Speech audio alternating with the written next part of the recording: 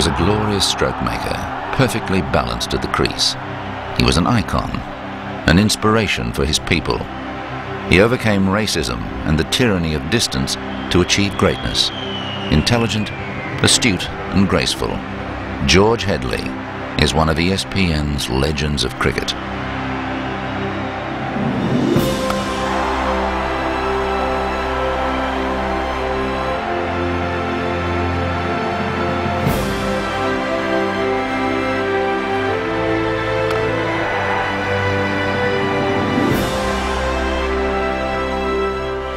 1932, playing against a touring English first-class team, George Headley played what observers called the perfect innings, 344 not out. In 1932, um, Lord Tennyson, the former England Test captain, brought a team to Jamaica and to the West Indies, and Headley slaughtered them. Um, he started, he scored an innings of 344 not out, and it, has been described by those who saw it as the perfect innings. In the series, he, in the matches against the Tennyson's side, he, he scored 723 runs, uh, was only dismissed twice, lowest score 84, an average of 361 and a half.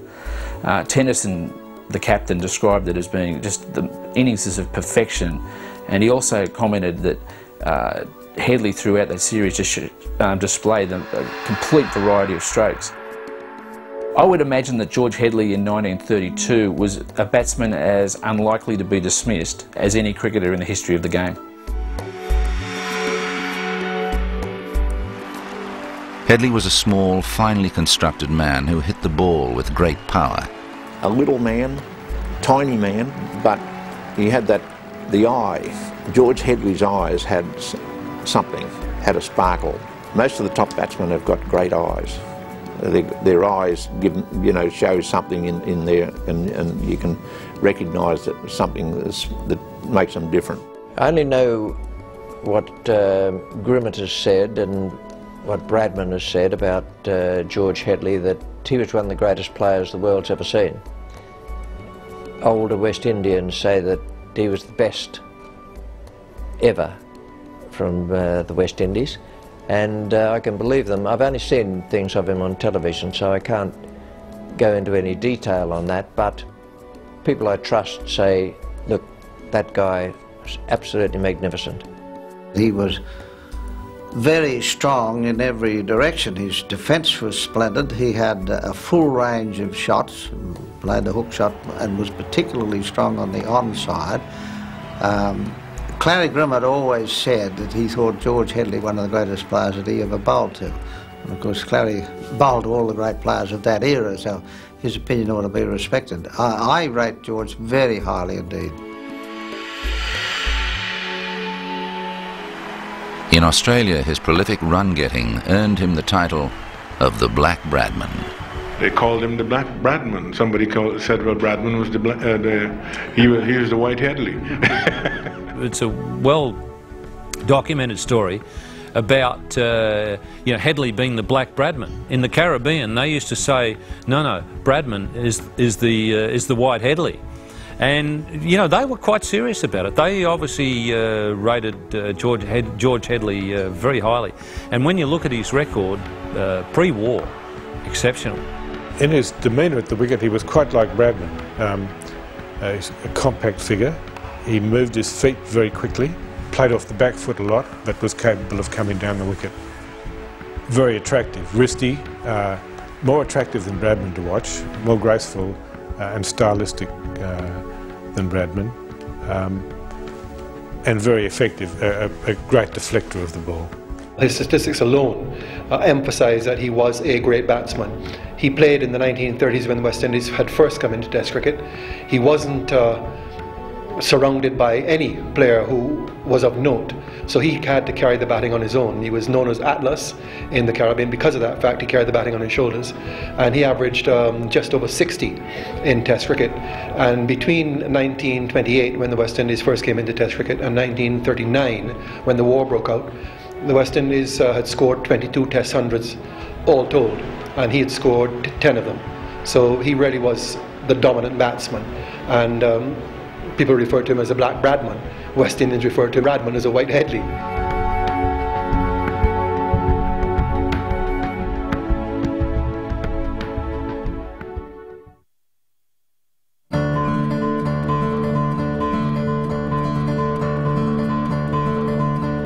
Panama born. Panama-born George Headley might have been a dentist in America had he not become smitten with the game of cricket. In 1927, uh, the great English batsman um, Ernest Tyldesley came to um, the West Indies on a, a, tour. And he was actually injured in a car accident uh, midway through that tour. But in the first three matches he scored 100 in every game. And in Jamaica uh, he, where he got those runs uh, Headley saw him bat. And Headley commented years later that he watched every ball and it was the way apparently that he said he watched every ball. There's no doubt that Headley was a very keen observer of, uh, of other cricketers and it's shown in his career that he learned very, very quickly as to what to do. Selected for Jamaica at the age of 18, Headley made 211 in his second match. Despite his obvious talent, he was overlooked for the West Indian team to tour England in 1928. The uh, West Indies played their first test matches in 1928 in England and they decided that Headley was too young. Uh, they paid for that by losing all three tests that they played by an innings and decided that he probably wasn't too young after all. The, West Indies uh, went to England in 1928 and you can just imagine the politics of trying to uh, to pick the side when the selectors sit down and they've got a, all their the class prejudices. They've got to pick their, uh, if you like, their fellow whites. They've also got to fit in players from the different islands. It would have been almost impossible for a, a, teenage black Jamaican, Jamaica being so far from the, the centre of West Indies cricket at the time, which was uh, more centred around Barbados and Trinidad.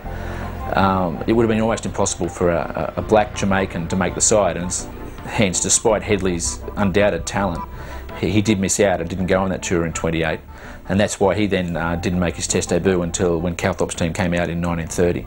But then when he did make his Test debut, the impact he had was uh, was immediate and phenomenal.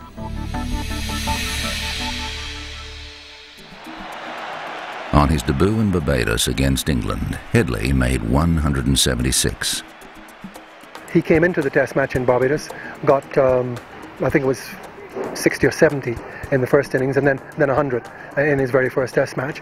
And then he went on to, to Guyana, got hundreds there, and from that moment, you know that Headley was going to be a, a great player.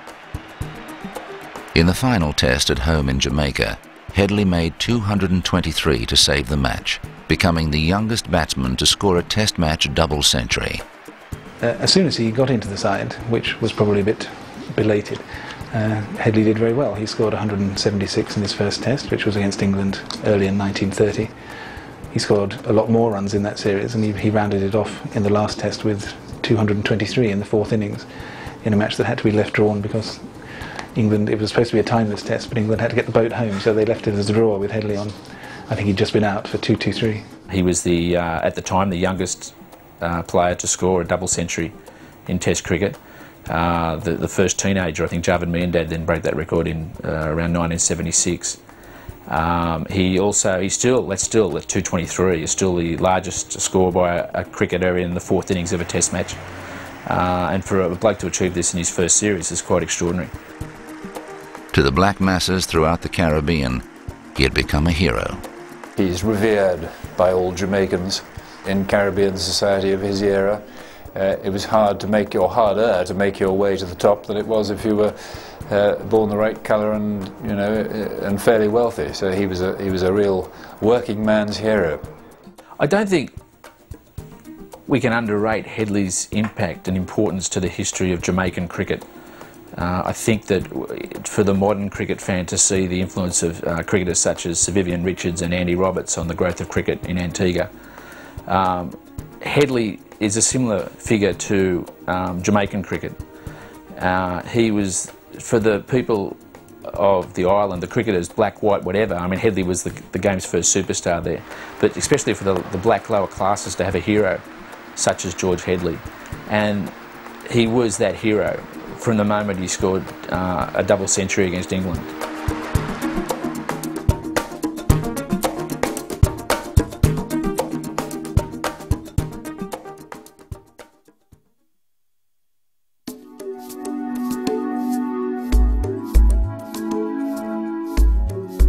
In 1931, the West Indies travelled to Australia to face a team brimming with confidence after Bradman's triumphs on the 1930 tour of England. Two players made more than 1,000 first-class runs that season, Don Bradman and George Headley. It was during this series Headley was dubbed the Black Bradman. George Headley uh, had a fine tour, did very well, and uh, subsequently improved on that form as his career unfolded. And history would undoubtedly uh, rank George Headley as one of the all-time great batsmen, and he, he was certainly a great player.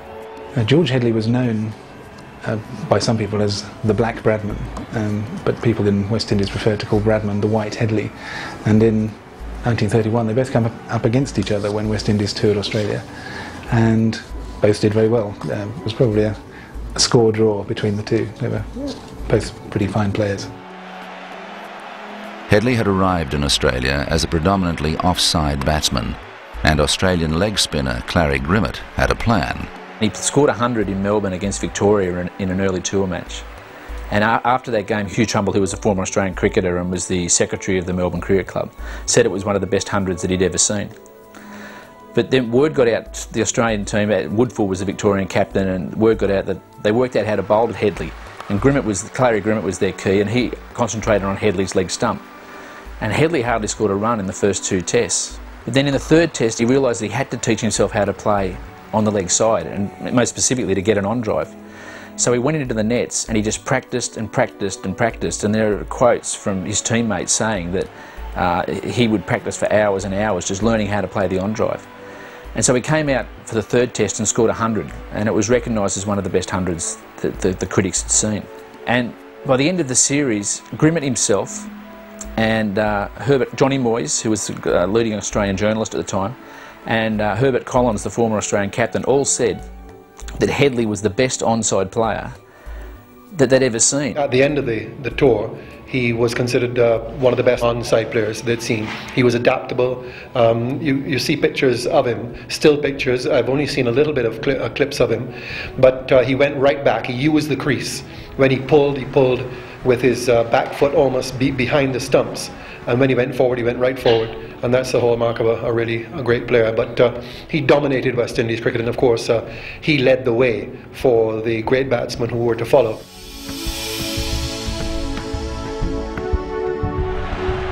In 1935, England toured the West Indies for the second time. The first test was played on a substandard pitch, with Headley and Hammond playing extraordinary knocks in a low-scoring match.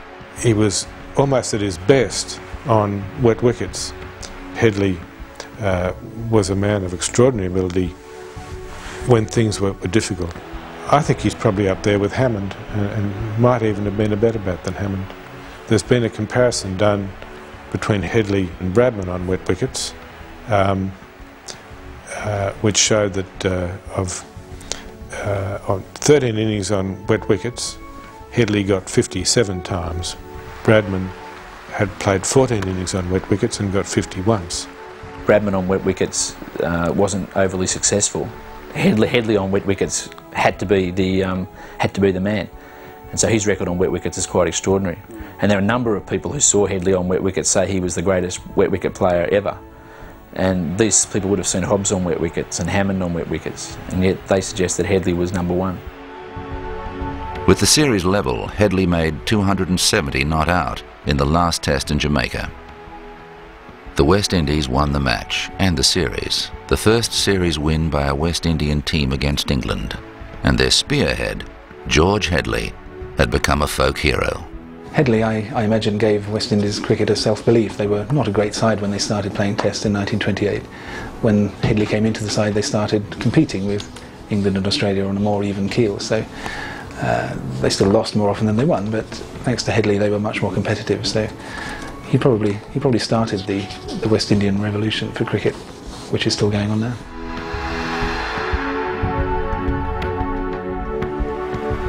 For the 1939 tour of England, many believed that George Headley should be the West Indian captain. It's a shame he couldn't have been captain earlier. I think he knew an enormous amount about the game. He knew everything about the game uh, West Indies cricket politics that stopped him from being captain uh, when, you know, he probably could have made his biggest contribution to the game. His contemporaries, to a man, suggest he would have been a superb captain. Um, and just he became a statesman after he retired, so he clearly had the ability to um, communicate with his, um, his teammates. And the fact that he was such a great observer of opposition players, which he then applied to his own cricket, suggests that he would have been a, an excellent tactician as well.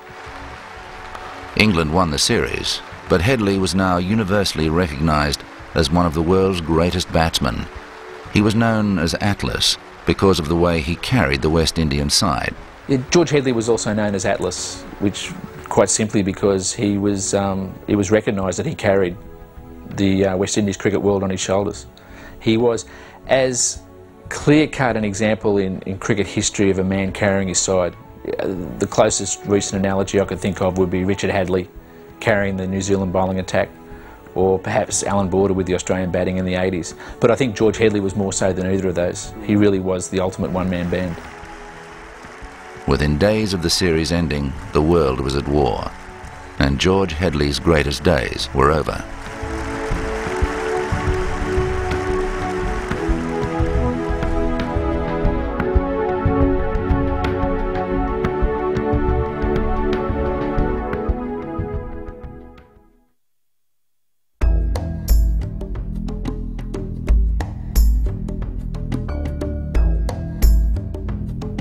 After the war, George Headley was made captain for the 1948 home series against England, an extraordinary achievement for a black cricketer.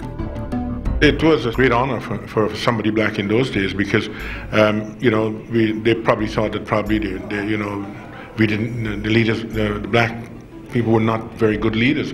And, um, and for, for him to, to be elevated to that position was a, a landmark for, for West Indies cricket. In 1954, Headley, who had been coaching and playing league cricket in England, came home for his last test. Headley's status as a as a, a man and as a cricketer in Jamaica is, is still around. The, the, main grandstand in at Sabina Park is the George Headley stand, and the, probably the greatest example of just how how highly he's regarded there uh, came in uh, the 53-54 series when Headley had been playing league cricket in England and hadn't played a test match since 1948 the public in Jamaica actually had an appeal to try and get him back to uh, the Caribbean to play in the series in 1953-54 against uh, Len Hutton's side, even though at that time he was 45 and uh, coaching and playing league cricket in England. There was a public subscription which raised over a thousand pounds and they brought him back to play in that series, but of course at the age of 45 he really was past his best. But that gives an illustration of the regard in which he was held and uh, the quality of the player that he was. All who met the great man were left with a lasting impression. I met George in 81 and I'm so glad that I did. I spent the day with him in Bridgetown watching a test match. He had a great sense of humour but he also had a, a sense of fair play and one of the English uh, batsmen, Gower or Willey, was given out to a patently poor decision and George said to me, man, that spoils it for me. And I was impressed by that because it showed that unlike everyone around us, he wasn't uh, being one-eyed about it. He, he cherished cricket. Um, cricket had given him a lot and he'd given a lot to cricket. Once I started talking to him for a couple of minutes, you could tell that he was a wise old man. That, that he was going to tell me probably something that would be beneficial as far as cricket was concerned but also something that was beneficial as far as life was concerned. George, a very nice guy. He's had uh, sons and grandsons playing English county cricket, but a uh, very nice guy and uh, extremely modest about his own performances. He was never one to speak too loudly, never one to speak of himself. If you got him in a quiet moment, he would tell you a little bit about the cricket that he played and about the fast bowlers that he came across and that sort of a thing but he was very quiet, very soft-spoken. He was a member of my club in Jamaica, Melbourne Cricket Club, along with Lucas, another, another club. And he spent a lot of time at Melbourne, and he was a good friend of my father. So I had close contact with him at the club. As a matter of fact, I got a award from him once at a Melbourne presentation. I don't remember exactly how old I was, but young teen, young teens. And when he presented the award, someone took the picture of him presenting me with that award. And a couple of weeks later on, he presented me with a picture. And on the back of the picture, he had, he had written, play cricket and see the world. Headley died in 1983, remembered as one of the finest batsmen of any era, and the man who carried West Indian cricket in those difficult early years. Headley was the first of the great West Indies batsmen. He set the pattern for those who followed, so that after the war, in the interterritorial tournaments back home. You had the three Ws coming through, you had J.K. Holt from Jamaica. He set the example, George Headley, and the rest then followed. So he was the one who led the way. George Headley played 22 test matches, scoring 2,190 runs. He averaged 60.83. Only Don Bradman and Graeme Pollock finished with higher averages. Leaving out his three post-war tests, his average was 64.7. He earned his nickname Atlas for scoring 10 of the first 14 centuries made by West Indian batsmen. And in the 35 innings in which he batted before the war, he top scored on 15 occasions. I still regard him as probably the greatest West Indian batsman for the simple reason that he didn't have the support that later great batsman from the Caribbean had. He did it almost single-handed, and he made um, 10 test centuries in 20 test matches. Unfortunately, came back after the war when he was past it. But if you look at his record during the 1930s, late 20s to the war, he was fantastic. He, he made 100 in each innings in a test at Lords against a good England attack. Very small man, nimble on his feet, uh, big appetite for runs, um, and to get to meet him and, and to for once not to be let down because often you meet the great performers and they do disappoint you but uh, I'm proud of that day I spent with George. If you look at cricket writings whether it be CLR James or Cardus or whatever people wrote a lot about Headley because there was a lot to say. He was uh, invigorating for his audience. Crowds loved George Headley. Remember, the West Indies didn't have a lot of international cricket then, so his exposure was limited, but his record stands testimony alongside anybody really except the Don. He was very proud of West Indies and West Indies should be proud of him because he put them on the map, he and Learie Constantine, and uh, they never looked back. Had he played in the modern era, he would certainly have been the West Indian captain, and he would have played many more test matches. But a strong case can be argued that of all the glorious batsmen to have graced West Indian cricket, George Headley was the greatest.